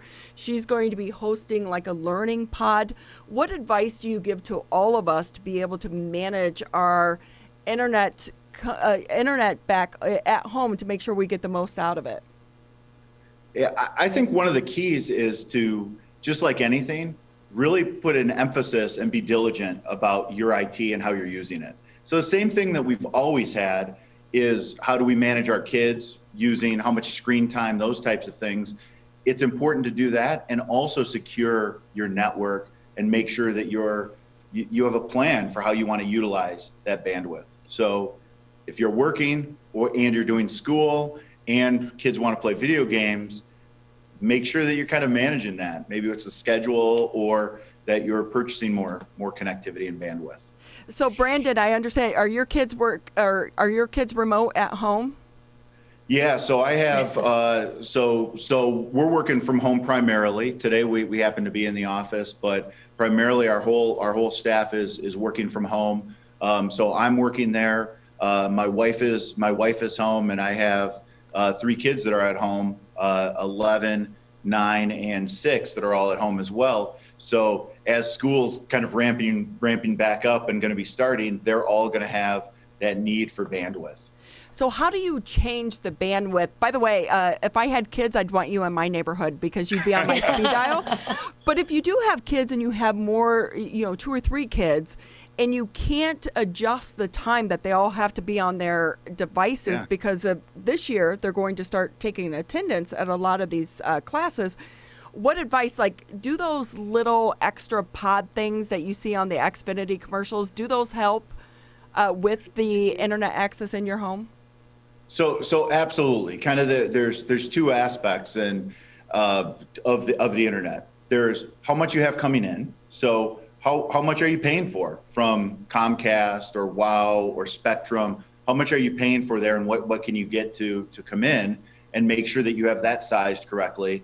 The other piece then is what are you doing kind of on your firewall? Sometimes that comes from that provider, that that cable provider, but there's things you can do to manage how much can be used per device and prioritize those. And then I, I definitely would recommend um, investing in maybe a little bit better Wi-Fi because that that Wi-Fi connection that you do can manage those. So very simply, you can buy a, a Linksys device or something at, at Best Buy and actually prioritize maybe my computer for work over the Netflix or the Apple TV. So you can do those prioritizations really pretty easily. We have so many people working remotely right now. Talk a little bit about VPNs. What are they and why are they so important? Yeah, so so VPN, it's a virtual private network, and the idea is that it's creating a secure tunnel back to something. And typically we hear that within our office environment, we're VPNing back to the office. So we're creating a virtual private network back to the office. When we do that, it's an encrypted tunnel. So in instead of being out at uh, um, kind of when you're at home, you can use that to get access to those files that would otherwise be inaccessible to you. So that's kind of how we use it for work. But when we also talk about public internet and public spaces, so if if maybe you didn't have good internet, so you have to go somewhere and again in a pandemic, what do you do? You might not be sitting in McDonald's, but you might be sitting in your car outside of it. I mean, there's people that have Parking to lot. do those to, to get access. And uh, a VPN of any sort can create a private connection and encrypt that that traffic. So you're seeing a lot of products coming out that are just doing that on a public uh, per person type basis as well. So important not only for your work, but just your personal information as well. You know, uh, Carla, you and I have talked about this. You guys have a great backdrop there, but I think people forget when they are doing Zoom calls or, uh, you know, remote business calls, whether it be over Google or Microsoft or Zoom, they're forgetting about what's in the backdrop of their phone calls. Why is that important? Well, Ronnie, um, when you are displaying your your home office, you know, in, in the past, um, nobody was really able to peer into that office. So you'd have pictures of your children. You might have different degrees behind you that would show your full name. You might have your children's babies pictures where it shows their full name, um, their birth date. All of those things are considered private information now and could be used to to by the bad guys to to hurt you. So you want to make sure that you don't have anything personal, any type of personal information, especially if you're doing um, a medical call for any doctors out there. We've had a lot of consultations with them. Um, if they're doing a, a medical call with a patient, you want to make sure that you don't even have uh, your your Manila files that have the patient's name on it. It's a HIPAA violation, and you have to be very very conscious of that now. On the funny note, you have to also make sure that you have everything you need right in front of you. If you need your phone, if you need your, you know, your your pen, your paper, because if you are doing a Zoom meeting and you're not used to it and you stand up to go grab something, a lot of people are forgetting that they're not fully dressed for the office. so making sure that everything is um, ready for you and presentable. Take a good look, take a couple of minutes, make sure your screen is positioned right, make sure your lighting is positioned right. Um, make sure you're not washed out if you have a window by your um, in your office. And then making sure that if you are going to be on, on a very important meeting, your dog's not going to bark in the background or or your kids. So making sure that you can close that door and maybe even have a sign that you put out there that states that you're going to be um, on a recorded line or, or speaking to somebody in a virtual meeting at that time. We're joined by Brandon Hartke and Carly Czech from XFER Communications with us on the Oakland County Megacast. And so, for, for the longest time, internet has been considered an elective utility. And more than ever right now during this pandemic, we've been communicating, whether it be for business, whether it be for personal reasons between friends and family, or for whatever the case may be, over virtual means. How much more now than ever have we seen evidence that the internet's not just a utility, but an essential service in everyday life? Yeah, I mean, it's it's critical, and, it, and it's very obvious that it, that it's critical for everything that we do. Um, so it, it is there. There is no doubt that it's a, a critical utility it's very important for it, and we see a lot of you know net neutrality and these these other things um, that that have gone on. But but the reality is that everyone needs to have it. Everyone needs access to it, and we really need access out into you know rural areas and areas where you can't get it. I mean, I think we've all experienced that as as Michiganders and that that you go up north and you think you have coverage and then you find out you don't have enough bars and then that wherever you're, you're there's no Wi-Fi available, and and that really is an issue, especially in this type type of environment. We see how big of an issue that is because it it creates this, uh, you know, the haves and have-nots, if you will, and it's it's yeah. more based on just area. So there is definitely a need for for more uh, drive of those types of solutions. And you also see the home networks, Comcast, Spectrums, these types of things uh, the thing we have to pay attention to is there's an upload and a download.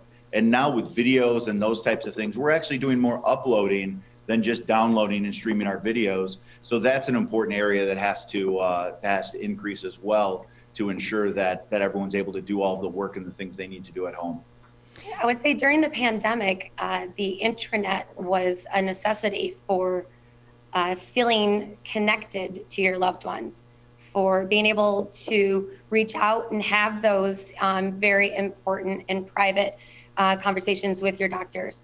For grocery shopping, uh, you know, it, it became even more in, important than than any other uh, need at the moment. It, it, was it was it's your connection to the world at that point when none of us were supposed to be out and about. So talk. I know that your company mainly focuses on businesses can you share with us how during COVID 19 your business has changed during this and, and what do companies need ma- now? Do they need your service more or less? Yeah, so it's, so it's interesting. Um, in a lot of cases, more. So I, I kind of take you through the, the, the way that, that things happened with, within our organization is as people started working from home, there was there was a couple waves, right? Some companies started going earlier. Some companies waited till it was it was more mandated. Um, but as that happened, we saw huge spikes in the number of uh, ticket volumes and the number of people that we're working with because they're all moving to home. We had a lot of lot of tickets, so we were doing two or three times as much work as we were doing, you know, prior to that. So everyone moved home, and we were able to do that. Um, a lot of the companies we work with were already prepared in a lot of ways. They already had networks set up that had VPN access, and it was just empowering the people with those tools and training them on how to use it.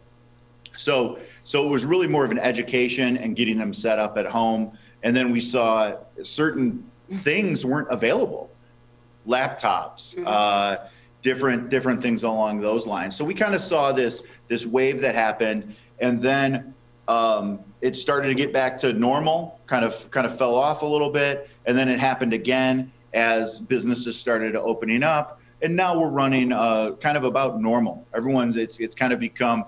We used to talk about the new normal. I feel like in a lot of ways the new normal is here for how people are working within their organizations.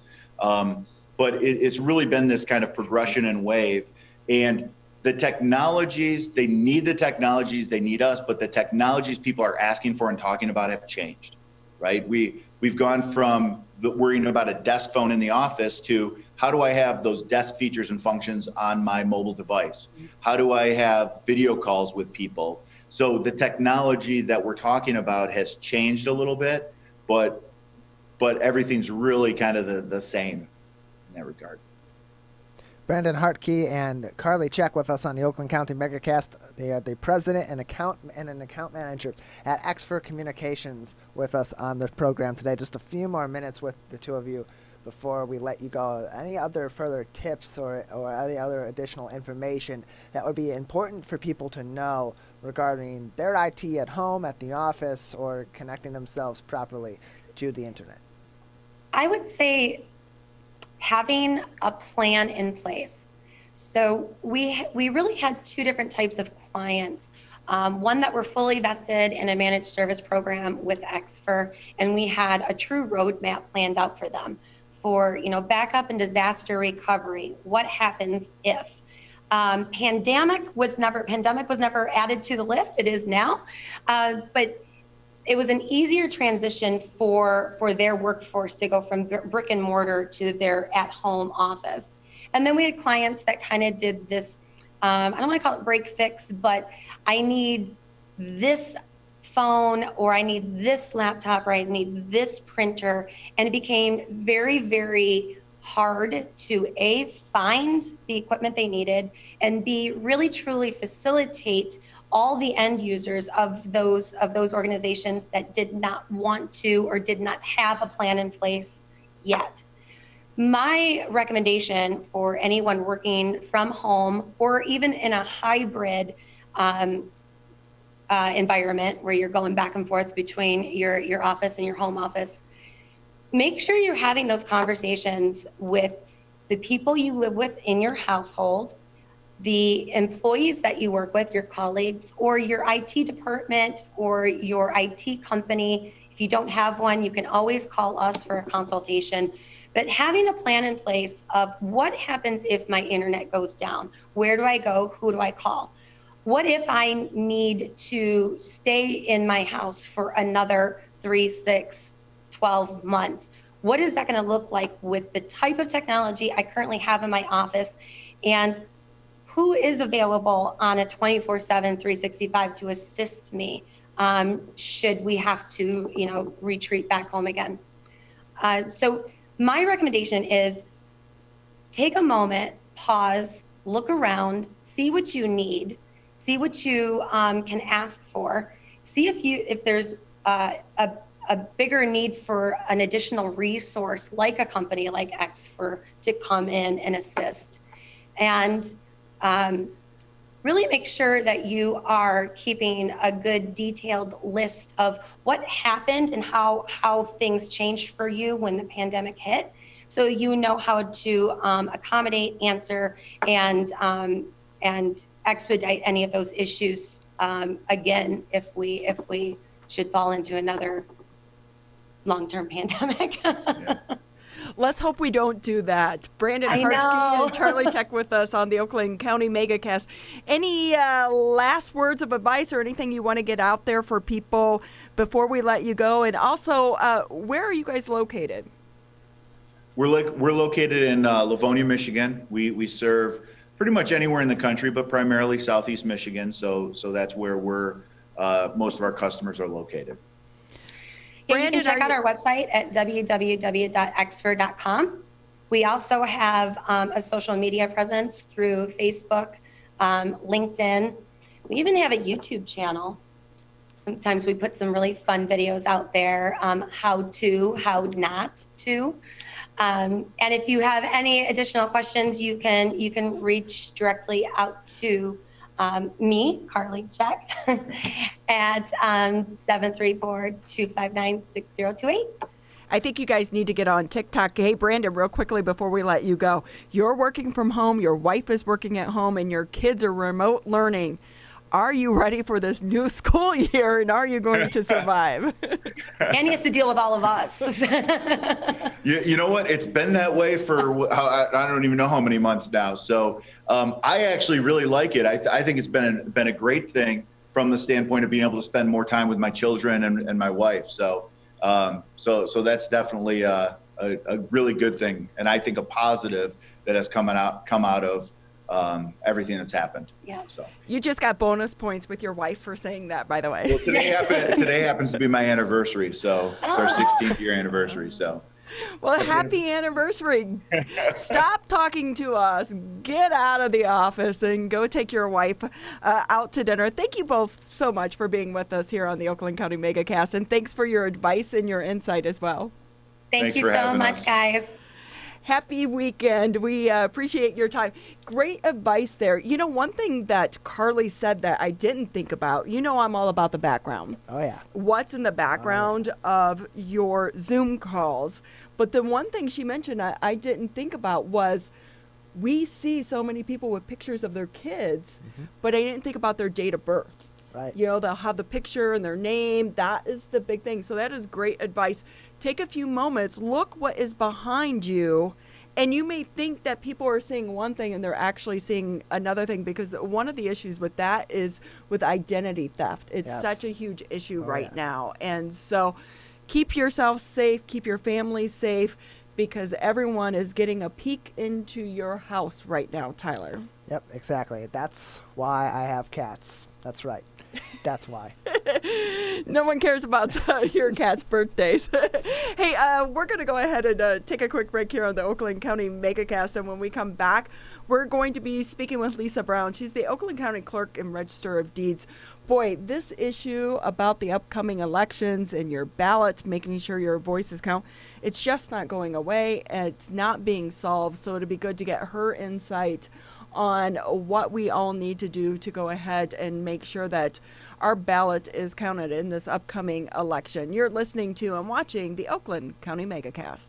This may seem uncomfortable, but so is being hooked to an IV, sleeping in a hospital bed, and fighting for your life. When it comes to COVID 19, comfort is not as important as saving lives. Wearing a mask can greatly reduce the chance of spreading the virus. So mask up, Michigan, every time you leave home. Hi, my name is Curt Lawson, and I'm the Public Information Officer for West Bloomfield Township. We wanted to reach out to you, our older adults, to provide information that you may find useful during this difficult time. We want to ensure you that West Bloomfield Town Hall, our Waters and Utility Department, West Bloomfield Parks, and our police and fire departments continue to work hard on your behalf. Information and resources can be found on the Township website, the police Facebook and Twitter, or call West Bloomfield Park's COVID 19 Help Hotline. Please remember to keep your social distance of at least six feet, wear facial coverings when you leave your home, and wash your hands for at least 20 seconds with soap. These precautions will help keep you safe during these difficult times.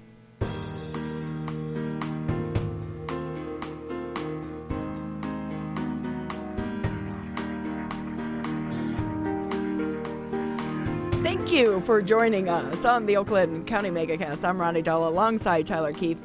And we join you Monday through Friday, 10 a.m. to 12 noon, with newsmakers in and around Oakland County and the state of Michigan as we continue to navigate COVID 19 and its impact on our community. And we are seeing that ever so important, our election coming up. And one of the things that we've seen here in the state of Michigan is obviously uh, with the primary, we are now allowed to vote with a mail in ballot, and that is causing a lot of issues and a lot of talk about does your ballot really count. So we want to go ahead and let's bring in Lisa Brown. She's the Oakland County Clerk and Registered of Deeds. Thank you for taking time out of your Friday to be on the Oakland County Megacast. Thank you for having me. What an incredibly busy time for your staff? I mean, the primaries are over, but you probably don't even get to catch your breath before it's on to the November election.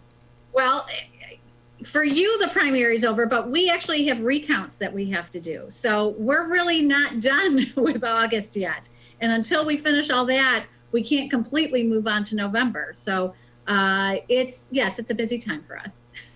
We are hearing so much in the national news, of course, about the U.S. Postal Service.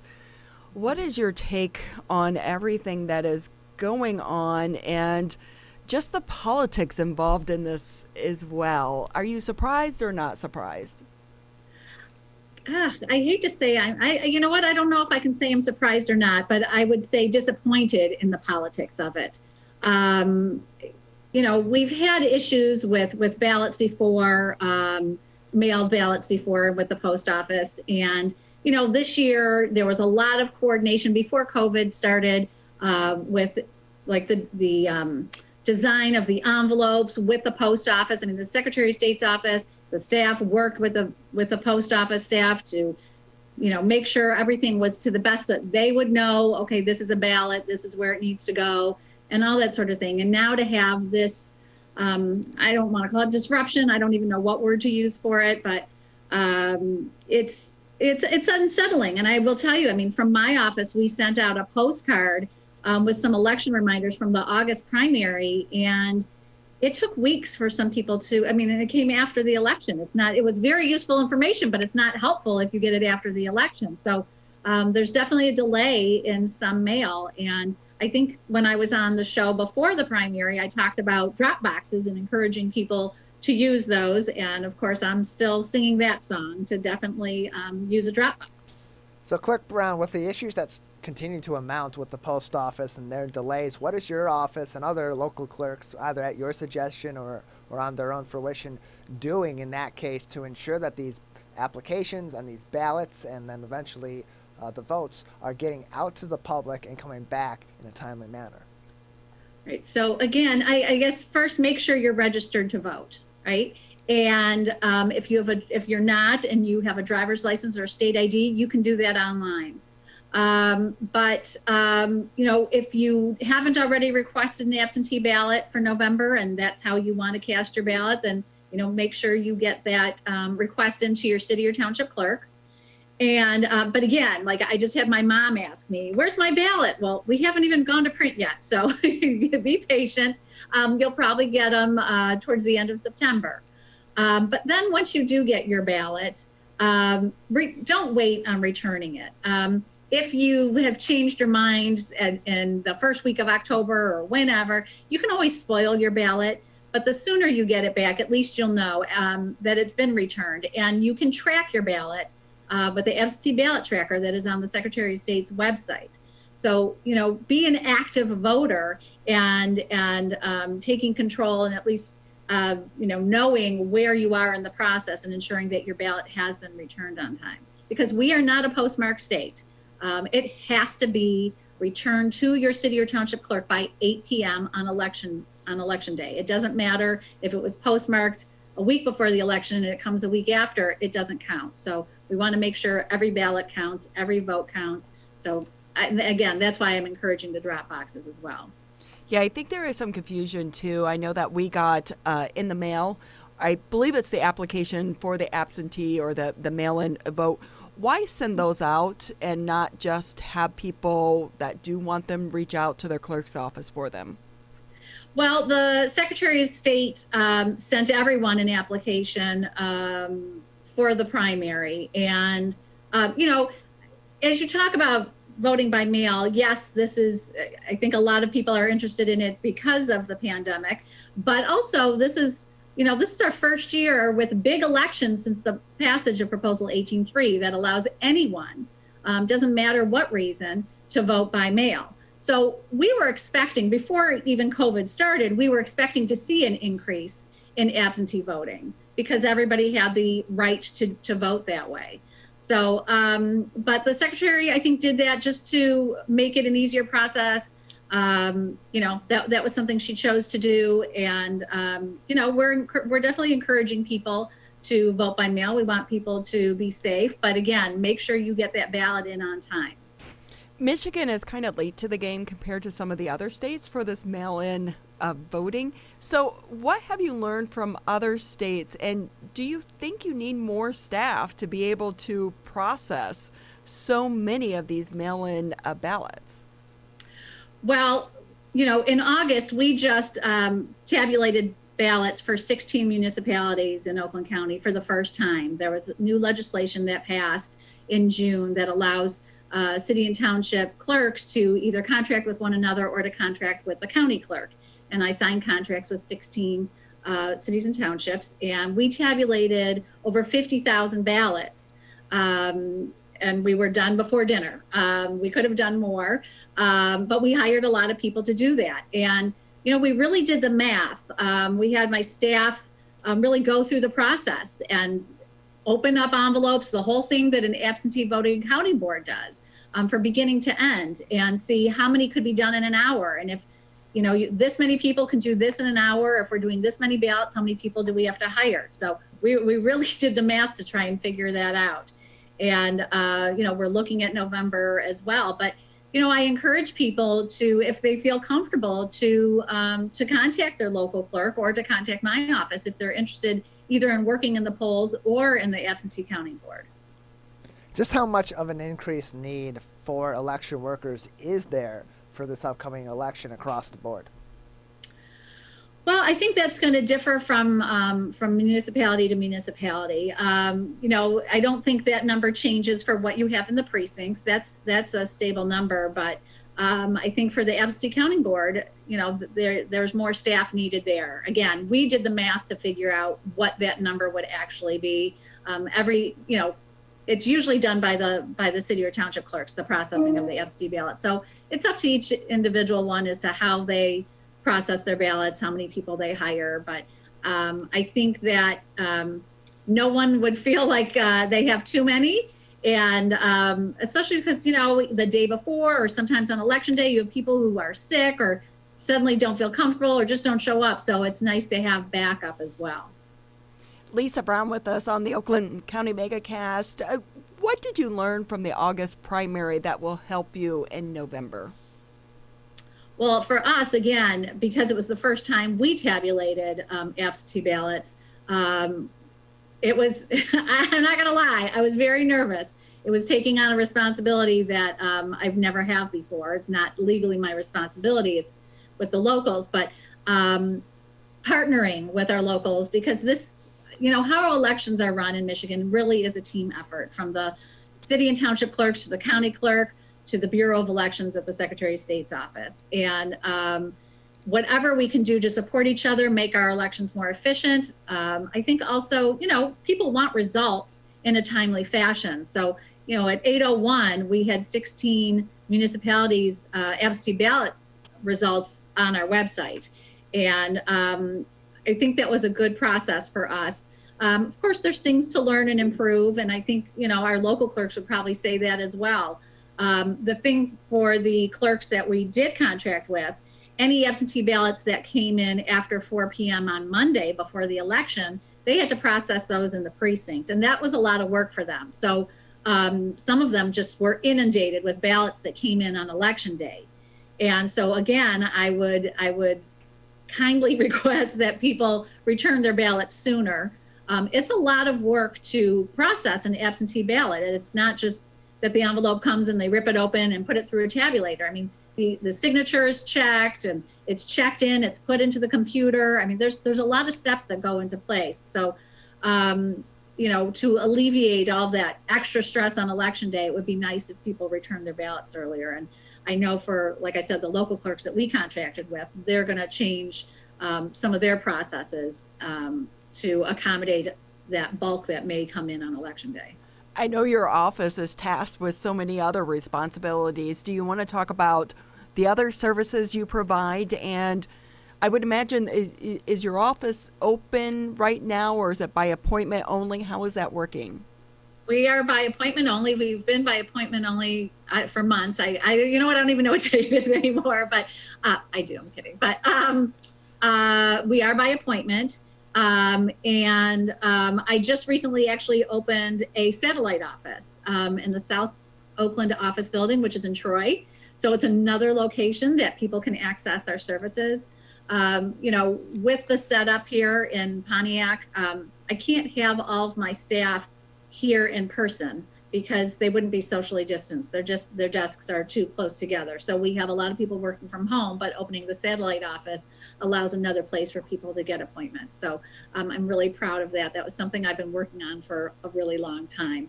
Uh, but the other services, uh, well, I'm the Register of Deeds, and if people haven't heard of my program, uh, Property Records Notification (PRN). It's my baby. I'm very proud of it. It's the first of its kind in the country program um, to alert homeowners to recordings on their properties. Um, it's for free and um, it you know i've just seen so much fraud in the register of deeds office and i'm my staff and i are really limited in what we can do um, we're not allowed to investigate a document when it's presented for recording so um, but i have seen forged signatures on deeds and bogus liens on property and you know, you wouldn't know that somebody did that to your home. So if you sign up for this program, you'd get an email. It's basically like a Google alert, but on our property records. So uh, that website to go to, and you can also search our, our property records for free as well. OCMI Deeds, D E E D S dot com. Um, and you scroll down and you'll see property records notification, and you can sign up for that. Um, so I'm also the clerk of the circuit court. So of our circuit court records. Um, I like to say I do everything from birth to death and everything in between. So you're, if you were born in Oakland County, your birth record is here. Um, marriage licenses, uh, concealed pistol licenses, DBAs. Um, I, there's a lot of there's a lot that goes on here, and of course I clerk for the board of commissioners meetings, the jury commission, um, I'm going to forget a couple because there's so many things. Uh, the majority caucus for the Board of Commissioners, uh, the election commission, and I'm forgetting one off the top of my head. But anyways, yes, there's a lot that goes on at the clerk register of deeds office. You know, in other counties, they're two elected, two separately elected offices, the clerk and the register of deeds. They're both constitutional offices. They're in our constitution. Um, but I think in 1952, the Oakland County Board of Commissioners voted to combine those offices. So, so it's it's a lot all in one. I was going to say, so we need like 20 of you. You want to multiply yourself so many oh, times. I, I like I like being busy. I like being busy. It's all good. So, are you seeing much of a delay in your office for some of these services? No, my staff has been incredible. I have such a great team here. Um, uh, you know, when we were we were kind of, I don't want to say closed, but I guess I'll say closed. We were still working, um, and we still encourage, even though we've got appointment, we're still encouraging people to, um, you know, conduct business with us online if you can, um, or by mail. But there are certain things that you have to come in person for. Uh, but um, concealed pistol license being a big one that you have to be in person for for a new concealed pistol license. If you're renewing, you do that online. Uh, but you know, coming here and applying is one step of the process. The next step is getting fingerprinted, um, and most people who do that then would go across the street to the sheriff's office and get fingerprinted there. And so they weren't fingerprinting for a while. So I think we have a little bit of a I don't want to say a backlog, but I guess I could say a backlog. Not in our not on our side so much, but I know that they're booked out um, pretty far for their appointments to get fingerprinted. Clerk Brown, just another couple minutes with you. Clerk Lisa Brown with us, the Oakland County Clerk and Register of Deeds on the Oakland County Megacast. Uh, before we let you go, anything else that you'd like to speak to your constituents about or uh, any other additional information we haven't touched on today? I just uh, reminding people again when they do, um, if they are voting by uh, at home or even in person, because um, you can bring your own pen to the precinct. Just make sure it's a blue or black ink pen, and make sure you fill in that box next to your choice. Um, check both sides of the ballot. Uh, and um, like I said, if you are voting um, absentee, um, you know, see if your municipality has a drop box, a ballot drop box that you can drop it off. Um, that way you don't have to worry um, about the timing of it with the post office and you know that it's already in your clerk's hands. So I have a suggestion. I know that you don't uh, make this decision, but I'm gonna I'm gonna push it with everyone that I can is on the ballot drop boxes. It needs to be some type of system so when I put the ballot in, it spits out an I voted sticker. I like that idea. You know, and um, I know I missed getting a sticker uh, in August myself, and especially because uh, the Board of Commissioners had a sticker contest um, to celebrate the anniversary, the centennial of, of the suffragettes, of the women's right to vote. And um, we had two winning sticker designs. I was uh, honored to be one of the judges. It was not easy. We have so many talented students in um, Oakland County, but they were just great designs that were we were you know were made to be used this year, and um, not everybody got those because so many people were voting by mail.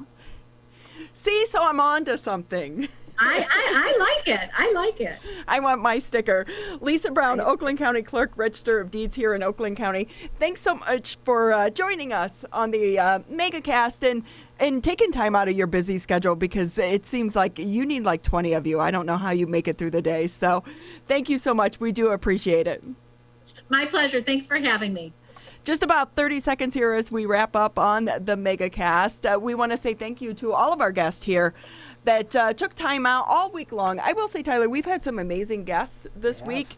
A lot of information that we have been sharing with people. So, as a reminder, you can check that out on civiccentertv.com. Thank you to Larry, our Zoom producer, to Jake for all of your hard work. I'm Ronnie Dahl alongside Tyler Keith. Tyler, you're the man. Oh, Happy weekend, everyone. You're watching and listening to the Oakland County MegaCast.